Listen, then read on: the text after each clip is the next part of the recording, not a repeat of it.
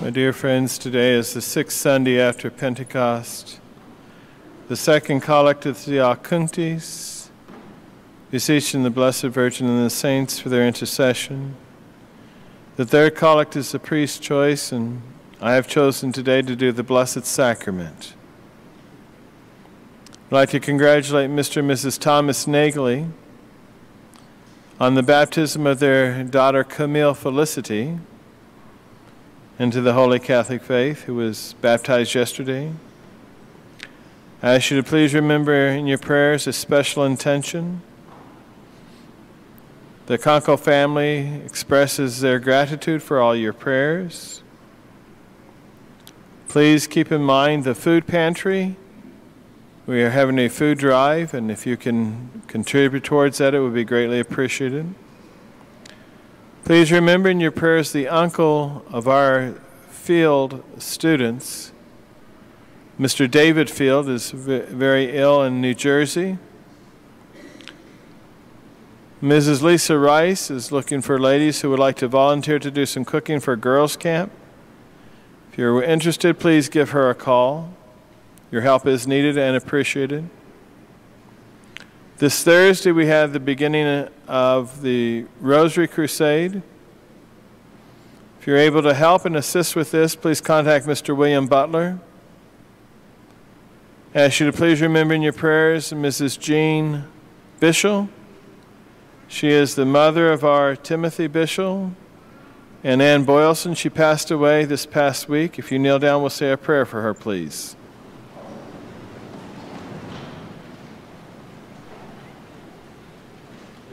Father, and of the Son, and of the Holy Ghost. Amen. Hail Mary, full of grace, the Lord is with thee. Blessed art thou amongst women, and blessed is the fruit of thy womb, Jesus.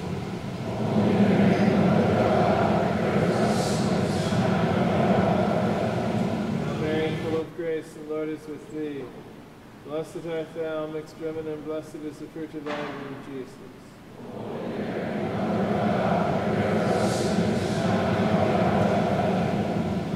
full of grace, the Lord is with thee. Blessed art thou amongst women, and blessed is the fruit of thy womb, Jesus.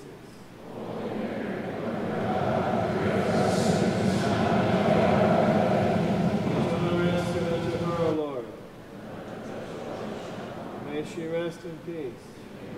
May her soul and the souls of all the faithful departed through the mercy of God rest in peace. In the name of the Father, and of the Son, and of the Holy Ghost. Amen.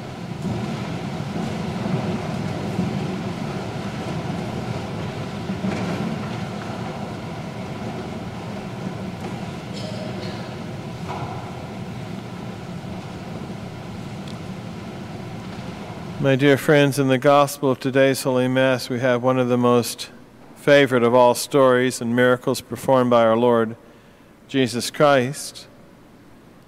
We see here today a beautiful example of the compassion of Christ upon the multitudes.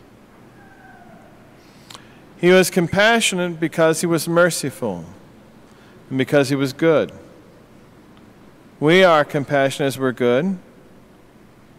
A hard soul is often one filled with great pride.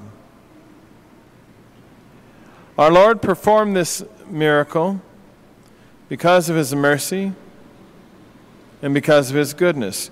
Goodness seeks to diffuse itself, to spread itself out to others, share itself, help others. Our Lord also uh, performed this miracle to show how He will care for those who have preference for their souls over their bodies. In other words, those who seek first the kingdom of God. He promises that all other things will be added. And so, just as you today suffer a little bit the heat, the inconvenience of church, the trip here, our Lord is rewarding those who set apart a good part of their day to follow Him, to listen to Him. He feeds the birds of the air. They don't harvest into barns as humans do. They neither sow nor do they have harvest. God provides for them, and He also provides for the prudent Catholic. No one asked our Lord for food, but His mercy, one of His divine attributes, compelled Him to alleviate the hunger of those who have labored with Him throughout the day. And like Mary, have chosen the better part. Some parishioners do the same. They choose the better part. They, they center their lives around the spiritual, whether it be here or their prayers at home. They center their lives around those prayers rather than centering the prayers around their lives. No one asked our Lord to change the wine, the water into wine at the marriage feast either. But he did. They did not ask him to feed the multitudes today, but he did. This is the second multiplication of fishes and loaves.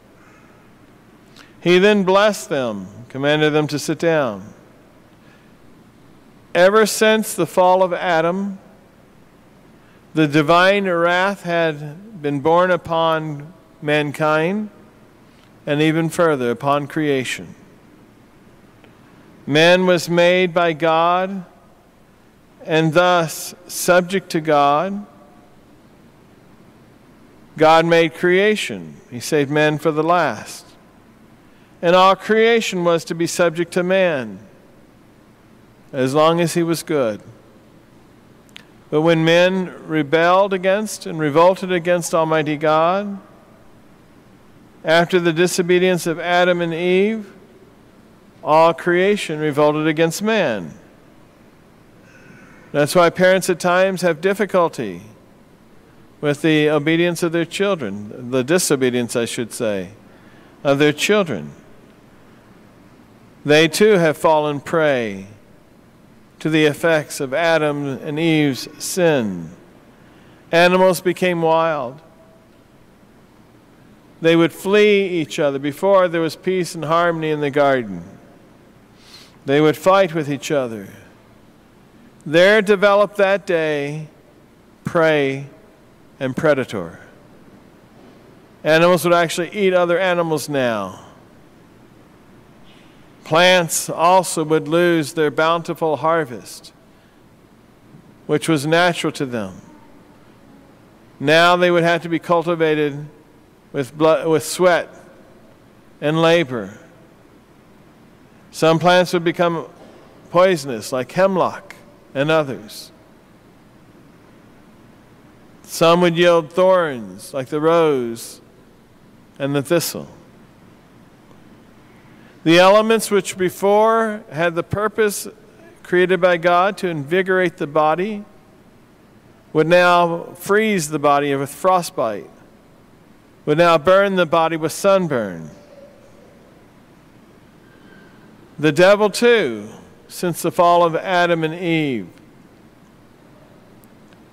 would use the things of this earth creation, the beautiful creation of God to destroy the human soul, to lead men to their eternal ruin. Some men make their own ruin by excessive work, by excessive recreations, by excessive natural good deeds, neglecting their soul neglecting the supernatural grace which must flow into the soul and inundate it, inebriate the soul. Satan was conquered, but he was not slain. God did not leave men in the state that they dropped to after Adam's sin. But he once again gave them the power of saving their own souls. He came to this earth and he broke the chains of all the slaves of Satan by his cross, by his death on the cross. God warns us that Satan goes about like a roaring lion, seeking whom he may devour. In the Garden of Eden, Satan used the forbidden fruit to trick Adam and Eve, to distract them from God's holy law. He now uses the material things of the earth to distract mankind. Bishop Mendez said when Puerto Rico was poor, there were many vocations. When they became wealthy, they had few. Archbishop Lefebvre reminded us in Connecticut one conference when America was poor, there were many vocations. When she became wealthy, there were few. Because the people paid more attention to their human desires than they did their spiritual aspirations. However, God gave a counterpower to the apostles, of the bishops, and to the priests. And this power would be to make material things holy by a consecration or a blessing of them. Our Lord said to St. Peter, and this referred not only to the power of forgiving sins, but to more Whatever thou shalt bind on earth shall be bound in heaven. Whatever thou shalt loosen on earth shall be loosed in heaven. The Old Testament the priests of the Old Testament had to consecrate their whole families. All the Jews consecrated their firstborn. The priests had to consecrate wife and chi- children and possessions to Almighty God. In the New Testament, the priest blesses your children, he blesses you. He turns around at the altar just before the communion he says the misereatur, and he gives you a blessing. And this blessing can remove from your soul venial sin. That is why you only have to confess mortal sins in the confessional, because your own good works, supernatural good works, the blessings which you may receive, the sacraments which you may receive, wipe away venial sin. A blessing is a prayer of the church used by the priest to have for good and holy purposes the material treasures that God has permitted us to accumulate. What good are they? What good are blessings? Well, they help preserve us and liberate us from the influence of Satan. Secondly, they forgive us our venial sins, as I just mentioned. Thirdly, these blessings impart graces upon the souls of the recipient.